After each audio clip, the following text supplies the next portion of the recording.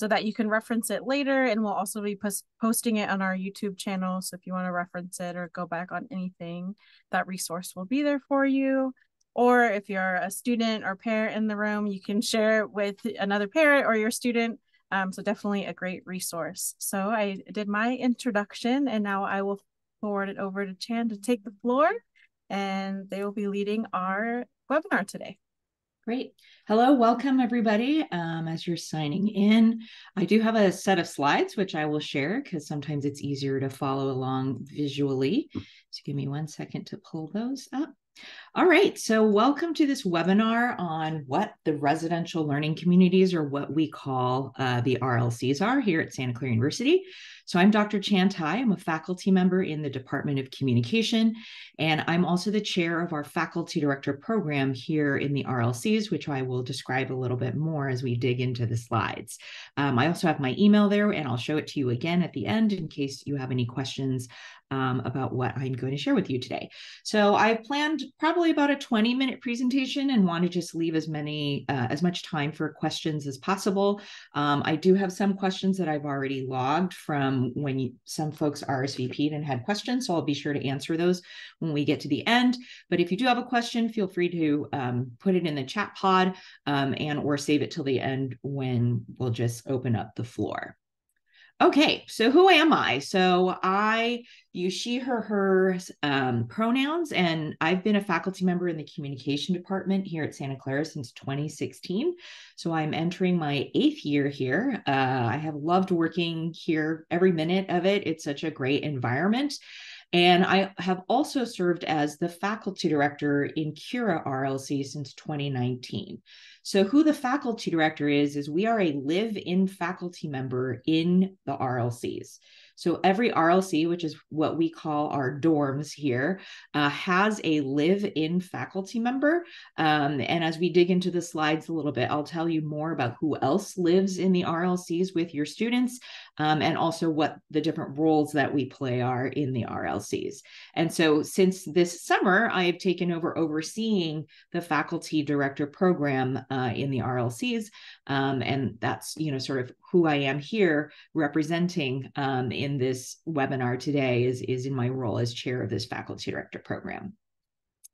So we are very intentional here at Santa Clara University. So everything we think about in terms of how we want to welcome and serve our students is with the hopes that we will help our students transition successfully, that they will have a successful four years here, and that they will graduate from Santa Clara University. So we are very proud to have a high retention rate. So students who start with us their freshman year, we have one of the highest percentages of graduation that students stay with us for four years, and it's in the 90 something percent, which is very, very unheard of in higher education. And so we like to believe that that is a result of all the intentionality that we put into all of our programs. So research does show that for students who are transitioning into college, the successful students are connected. What that means is they're connected to other students they they're joining clubs they're engaged in maybe sports or club sports um, they're involved in their classes they do activities and they participate in activities that we provide in the rlcs as well uh, the next key thing that leads to student success in college is they know how to cope with difficult situations. So, inevitably, hardships will come up whether it's you know not doing as well as they want in a class or it might be a social something that comes up or something that happens at home we know that students will um, face difficulties in their time at Santa Clara. So we try to promote um, helping students learn coping strategies. And we also really, really encourage students to seek help from all of the amazing resources we have on campus um, which I will talk a little bit more about what we offer in the RLCs. And then lastly, sometimes students know these things exist, but they don't necessarily utilize the resources. And so again, we want to emphasize to students that they know what the resources available to them are and that we can create an environment where they aren't afraid to ask for help.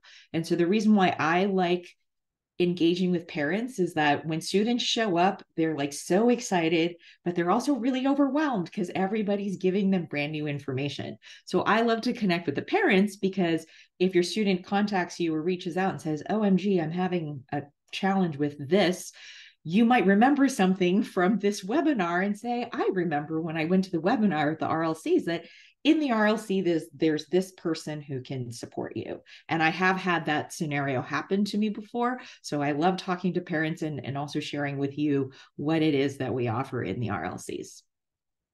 So you might be wondering, okay, she keeps saying this RLC thing. What is it? So an RLC is not just a typical dorm. So when I went to college, you know, it was you you got a room, you met your roommate, and that was kind of it. You went to classes and you kind of did your own thing.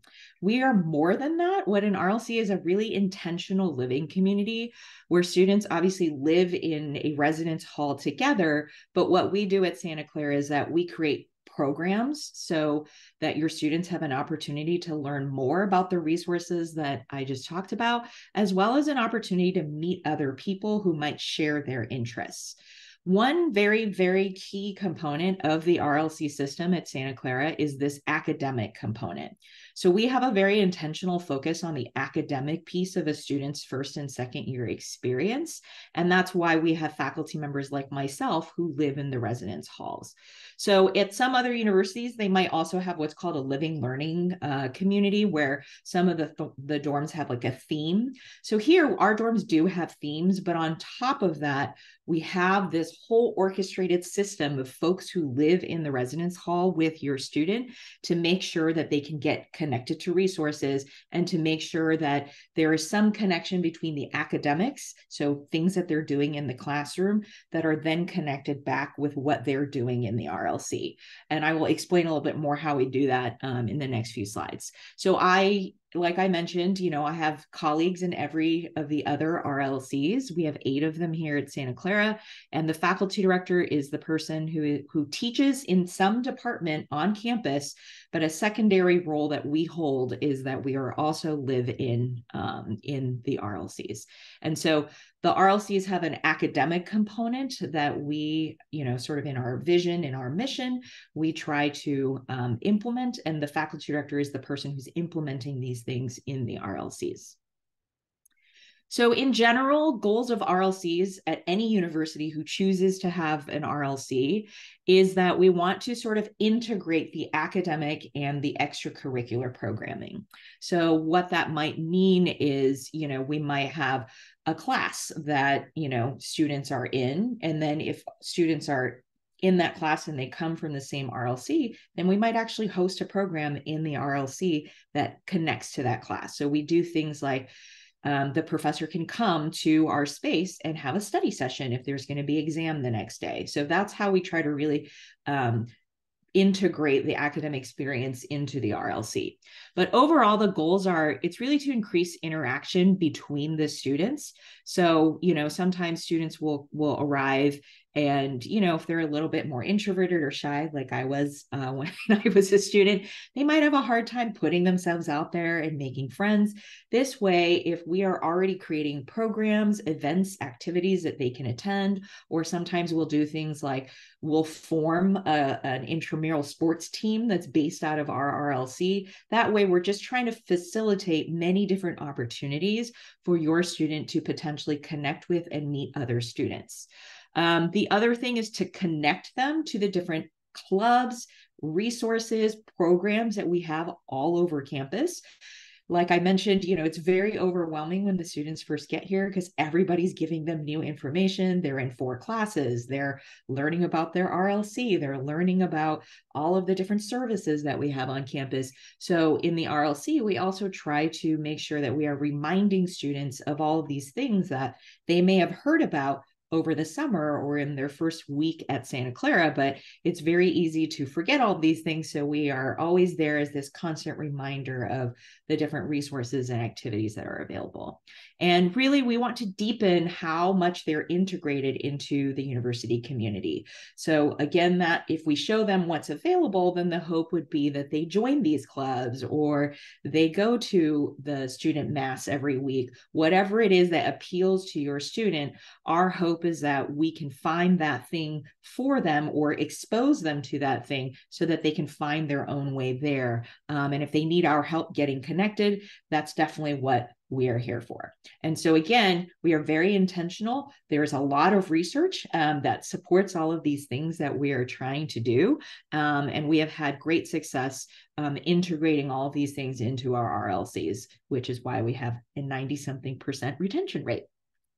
So, here specifically at Santa Clara University, the reason why we wanted to move towards this RLC model is because of the Jesuit principle of cura personalis. So, because we are a Jesuit institution, we really hold true, near and dear to our hearts, this value of educating the whole person. So, by having this RLC model where we're really in combining the academics and the extracurriculars, it allows us to better sort of you know support this mission of nurturing the whole person and really educating your student as a whole person. Um, and again the, the key really for all of this is we want to create as many opportunities as possible for students to develop connections whether that's connections with their fellow students connections with their faculty, connections with the staff, um, connections with each other. You know, it's just we want to create as many opportunities for students to cultivate these hopefully long lasting and meaningful relationships um, that they will make here at Santa Clara. And, you know, we do see that. We see students who come back, you know, for reunions and, oh, I met this person living in the RLCs my first year. And, and we really do see it that this very intentional way that we do the first year living experience um, does contribute to these lifelong relationships. And students develop relationships with the faculty members. So I've been in this program for four years, and my first set of students just graduated. So when I started, I had some students who were freshmen living in Cura, and you know I met up with them for coffee before they graduated. I've continued to check in on them, you know, in their four years here. So again, it's that idea of how do we help students build as many connections with as many people as possible uh, in their first and second years. So, how do we do all this? How do we function uh, as RLCs? So, each RLC has a theme that the different faculty, professional staff from residence life, and our student staff. So, you might know them as resident assistants or RAs at Santa Clara. Here, we call them community facilitators, but we have a whole team of folks who live in the RLCs who create these programs and try to cultivate this experience for your student. And how we do that is we offer academic and extracurricular programs. So in every RLC, there's weekly programs that your student can attend. Sometimes there's social programs where it's like, come by, watch a movie, and have some ice cream. Sometimes we've brought a campus resource into the hall to share what that resource is with students. So I was just on a call early this morning where we will be bringing the study abroad folks to come into the RLCs to give presentation about what students need to be thinking about if they want to incorporate study abroad as their experience at Santa Clara. Um, and we also just uh, do academic programs where, like I mentioned, we might bring a professor who's teaching a class connected to that RLC uh, to come in and they might hold a class in our space, do their office hours, or hold a study sessions, things like that. And so every RLC kind of has a set of guidelines um, that they have to meet um, in order to make sure that all students who are living in all the RLCs have access to the same types of programming. But each RLC and each RLC team are sort of given the the freedom to be as creative as possible in terms of the way that they implement these programs. So for example you know for my part of it the academic each faculty director who lives in the rlcs is required to put on at least two programs each quarter.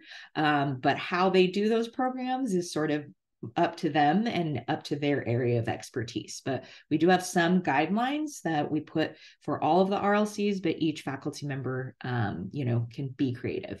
So this is just a quick snapshot of, of what the different RLCs are and what their themes are. This is also available uh, on the on-campus housing website, but we have eight RLCs. Um, each has a specific theme. And so then what we do is, you know, we work with the residence life team and the student staff to make sure that all of our programming connects to these themes um, as much as we can. So we have Alpha, uh, Cura, CyPhi, Da Vinci, and these are the buildings that they are in.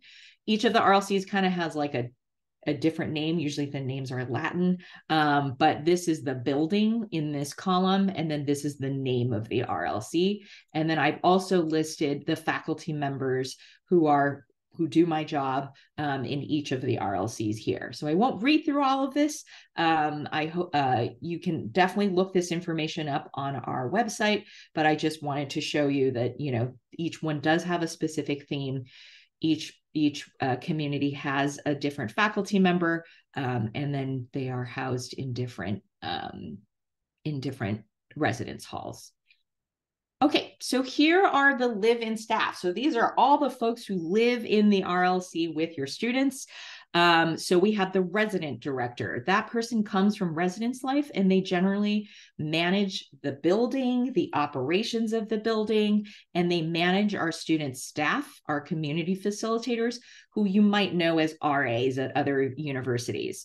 Um, our CFs are amazing. I mean, the the amount of things that we ask of them is is quite high but they are so committed to this role. And really their main role is being your student's first point of contact. So if your student is ever confused about anything needs help support their cf is their first point of contact and how we do that here is um, each CF is assigned a certain number of students, usually around 30, and they basically, you know, are all grouped based on a floor that they live on, depending on their building, or a wing of the building that they live in.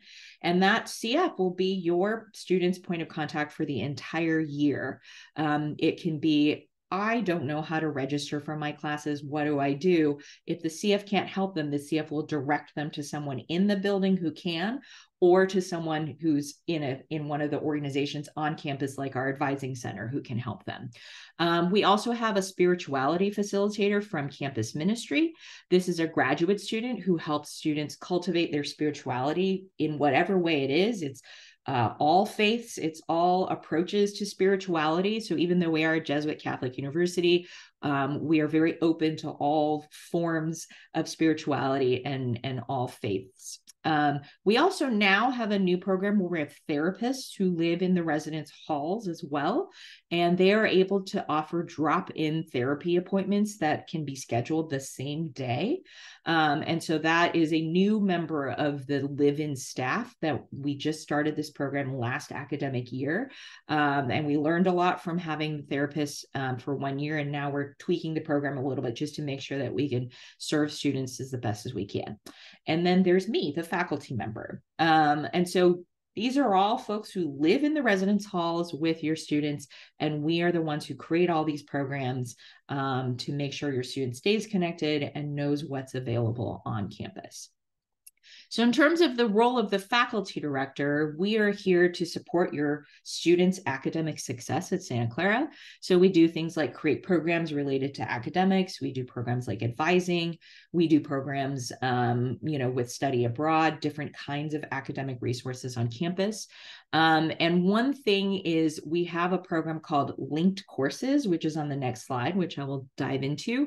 Um, and we're also able to share on and off campus resources with students. So sometimes students are like, I want to go off campus somewhere this weekend. Like, is there something I can do nearby? And faculty directors can say, oh, like there's this beautiful park walking distance that you can go to. So we're just an extra form of support for your student. And we can also meet with your students one on one. So if they're struggling um, in a class, you know, we can work through like study skills or time management with them. In fact, those are some of the workshops we hold is time management and how to, you know, just manage all of the things that students are doing their first year. So that's generally the role of the faculty director. Um, And so we also will host um, events that are advising focused. We can help students register for their classes. We'll set up an info session with the study abroad office to come into the residence halls. Um, and we will connect with the Career Center as well um, to ensure that if students need support knowing, you know, when they can start applying for internships or get help building their resume again are we i can't do all of that it's not my area of expertise but the, the goal really is i'm bringing all of these amazing resources we have all over campus that can help your student do all of these things. And then the faculty directors are also required to do a community engagement program. So that's usually taking your stu- a group of students from the RLC out into the community, whether that's like a cultural activity, going to a museum nearby, or something that's related to a class that they're taking. Um, that's you know part of the charge of of what the faculty directors do. So then we have this really, really cool thing that takes forever to put together, but we have learned that it is really worth it. It's called our linked courses program. So all students, when they come to Santa Clara, have to take certain courses to meet their core requirements. Um, and one of these classes is their English one and two, which we call CTW or critical thinking and writing. And usually it's a two quarter sequence where the same students are in part one and part two.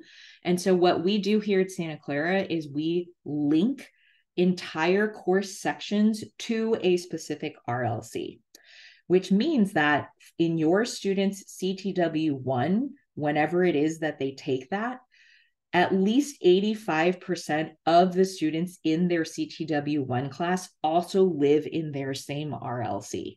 And again, this goes back to our intention of wanting to, to provide as many opportunities for students to connect with each other as possible. And so you know, it's your first day of college, you're going to your first class, maybe you don't know anybody. But when you get to your CTW class, the students will be informed that that 85% of the students are also in their RLC. So that gives them at least this like, oh, I do recognize that is the same person who I saw in my hallway last night they're in this CTW as well because, oh, wow, like all these other students in this CTW class are also from my RLC. So this is something that we are really proud of. Uh, the faculty who teach these CTW1 classes, eh, one and two, love that we do this linkage. And so we have seen that this definitely um, leads to students feeling more connected. They're more engaged in the RLC because they know all the other students in the class are. So, this is kind of one of the primary things that we do. And so, sometimes it is the faculty member who lives in the hall who teaches some of these linked courses. But even when they're not, you know, I don't teach any linked courses in my own RLC, but I will reach out to the faculty who are teaching the linked courses. And sometimes I'll pop into their class. Sometimes when they come teach their class in the hall, I'll show up and we'll, you know, sort of collaborate and coordinate together so that we can do a presentation together. So again that's you know what we mean when we say the academics are integrated into the rlc because we spend a lot of time and resources doing this linked course thing.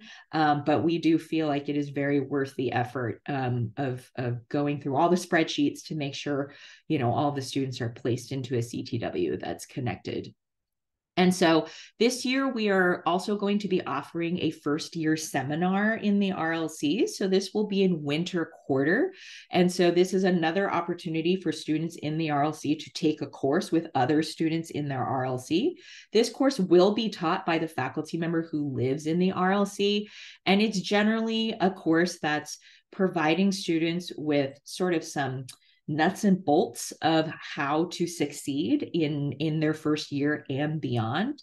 Um, you might be thinking well why don't we offer it in the fall? There's just a lot going on in the fall because students are still finishing up some of their like orientation activities in the fall quarter. So there just isn't a lot of room to put this but in the winter quarter um, you know this is this is what we do. And we piloted the program last year and this is the second year of the pilot um, and students who the data show that students who did take the first year seminar knew about more campus resources felt more connected to other students so again another opportunity that we offer to students to build those connections. And then, as I mentioned, our social programs, you know, mostly come from our community facilitators, but they're socials with food. They sometimes do art projects. but overall the goal is we help students how to maintain their well-being how to manage stress you know how to deal with all the many demands on their time uh, we help them learn about campus resources. We help them connect with other students and student organizations. And sometimes it's just to take a break from studying. I mean, we are very much of the mind that you can't just keep going. You need to rest, you need sleep, you need to take care of your body mentally and physically if you are going to do well and if you're going to do well for your 4 years here at Santa Clara. And this is just, you know, a small um, sort of uh, description of what we do, but we do many more things in this. Sometimes we RCFs take students off campus to like a game, like a, a baseball game or a, a basketball game, um, things like that as well. So, again, overall, our goal in the RLC system is to provide as many opportunities for students to develop connections as possible. And because this is because the research shows that if students feel connected, they know where the resources are, the more likely they will use them. And so, you know, we know that students will every once in a while face a challenge. That's why we're all here. It's why there's so many staff who live in the RLCs at Santa Clara um, and it's it's to make sure that they feel supported um, so that they can thrive while they're here at Santa Clara. And we feel very proud here at Santa Clara that many of our students do thrive um, and just and choose to stick with us for four years. And I I believe it's because we put so much intention into their first year to help them develop these connections so that they have the support network that they're going to need um, to complete their four years here. And so that concludes sort of my sort of plan part of the presentation. So we're just so excited to welcome you to campus um, in a few weeks. Uh, please don't hesitate to let us know how we can support your student. Um, and now I will open up the floor to questions. Uh, but before I do that, there is one in the chat. So I'll go ahead and answer that. So the question is Will there be a schedule of the weekly plan, sort of when the social, the study abroad presentations are? And that is yes. So every RLC sends out a weekly newsletter to all of the students who live in that RLC. And that will have that week's programs um, and the location of where in the building the, the program will be held. So um, if your student ever is like, I don't know where the program programs are, uh, please encourage them to read the weekly newsletter that their RLC is sending them because that's where they can find out. And definitely because we have the benefit of having a space, um, we also put up paper flyers um, all throughout the residence halls to remind students of these programs. Um, and we found that that's also a great way to get students to be aware. So, again, if your students ever like, I don't know where to go, just tell them, look for the flyers that are posted in your building and open the email that has the newsletter. And that's how they'll learn about activities. Um, so another question is, can off students, uh, off campus students join the RLC program? So every student who's a first or second year, definitely a first year, gets assigned to an RLC, even if they are a commuter student. And so that student is welcome to attend any of the events. That student is on the mailing list that gets the weekly newsletters. So if your student is commuting um, and they are, you know, want to do these activities, please, please, please encourage them to look at the newsletter that they will get sent. And they are welcome to come to any events, but they are assigned to a specific RLC. So they can't just show up to any RLC. It should be the one that they have been assigned to. Um, and so off campus students who are commuting can also do the activities. Um, is there a checklist for what to prepare for moving in? Yes, there is. That is on the housing website. Um, there, we also encourage students definitely to contact their their roommates or suite mates so that you're not bringing multiple sets of things that you might want to share. Um, but there is a checklist, um, and it's it's different depending on what style dorm you're in. So if you're in a dorm that's a suite style where the students sort of have their own bathroom, then that might be a different list uh, compared to students who are living in one of our more communal style dorms. Um, and so Lori has just shared uh, the helpful checklist. Thank you, Lori. Okay, so next question is Should students be purchasing books before classes? And if so, where do they find that info? So, the way that we do books here is um, you can email the professor who is listed on your um, class schedule. You can also go to our bookstore because the bookstore uh, requires the faculty members to tell them what books to order. So, if you physically go to the bookstore, it will all and you can you can find your classes that you're in and also know what books are required that the, the professor has asked the bookstore to bring. I believe you can also do this online through our bookstore's website.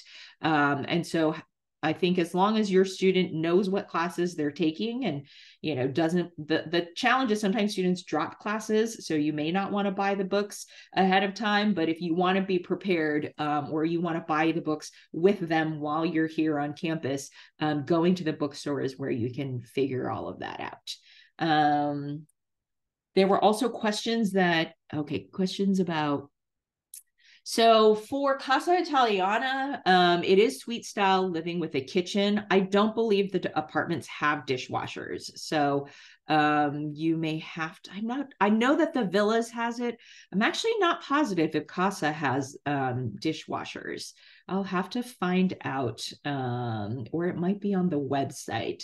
Um, that question I don't know, but if there is a kitchen, yeah. So if if there are washing machines they can do pods or liquids. I just don't know if they actually have dishwashers there. Lori do you know if casa has dishwashers? I know the villas does. I know. I was trying to see if uh casa had dishwashers. Okay, so um, Lori's gonna look that up. I'm looking. washers in Casa. Um, for laundry, so every um, building has uh, laundry rooms. So it depends on the, you know, sort of type of building that you're in. So in my building in Finn, I'm in Cura, um, we have a laundry room on every floor. Um, some buildings have like one main laundry room in the basement, but we do this very strategically where depending on how many students are living in that hall, our housing folks will basically calculate like how many students per machine we need. So we need to make sure that that ratio uh, works. So we do try to make sure that there are enough laundry machines, but every building has their la- their own laundry facilities. So that would not your nobody will have to drag their laundry off campus and do it at a laundromat and bring it back. Um,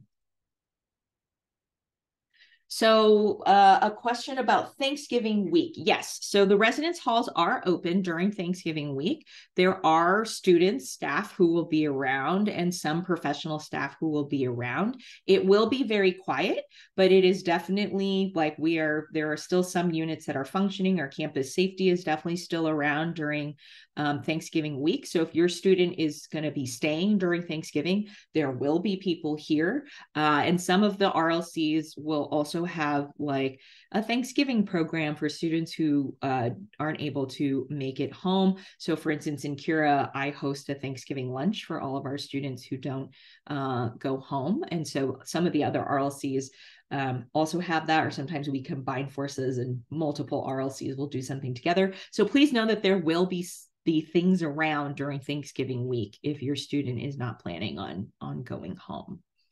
Um, other questions? Uh, I think so. These are these came from the RSVP. So someone asked, do the students change their dorms every quarter? No, they will stay in the same dorm for the entire school year. Um, if for some reason, you know, it's not working out, um, for them in their current uh, dorm.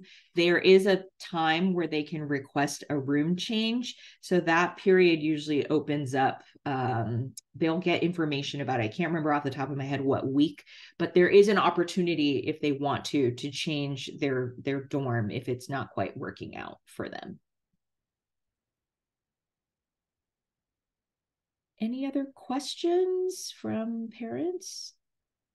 Uh, okay, so if it's your second year and you want to stay, stay, yes. So if so, the way we do the second year is if your student wants to stay in the same RLC, they will have um, first choice to choose to stay in the same RLC.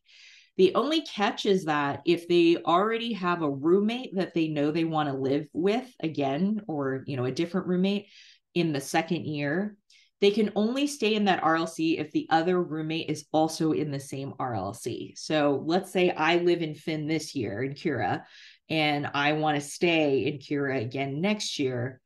I made a friend also in Cura, then both of us, if we apply to live in Cura again, we would be guaranteed a spot a spot in Cura. if I live here this year and I make a friend in my Spanish class, but my Spanish class friend is not currently living in Cura this year and they live in Loyola, if we wanted to apply together, then we would not be guaranteed a spot in Cura. So that's just how our housing folks do it. It's a logistical like it's insanity how they place all the students. So this is just a system they've devised that works for them to keep the work as minimal um, you know as possible. But if your student does want to stay in the same rlc there are things that they will have to do to guarantee their spot in the same rlc again. Um, and that's but but they would be guaranteed to come back. So, uh, a question about after the first year. So, yes, the way we do the RLCs is even if they come back to the same RLC next year, everyone will have to move all of their things out at the end of the school year. The reason being that over the summer, um, con- we have a conference services on campus, and they actually come in and utilize all of the residence halls. Um, and we you know hold conferences for all kinds of folks who want to come use our space on campus. And so students will not be able to store their things in the dorm room even if they are coming back to the same rlc next year. And we have um, sort of different ways that students can store their things. So you know there's um, like they can rent like sort of like a pod thing. A lot of students will share one and just put a few boxes in there. And so this this business what they do is they'll bring these pods and set them in one of the parking lots on campus and your student can just pack all their stuff loaded into this pod. They store them over the summer. And then once it's moving again, the pods will be returned to this parking lot, and your student can just go and grab their things um, and move back into the dorm. Any other questions?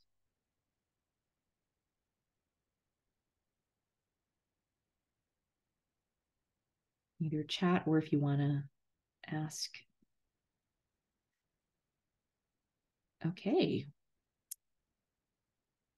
If there aren't any other questions, you know, I'm happy to end this a little early and let everybody have some time back. But I thank you so much.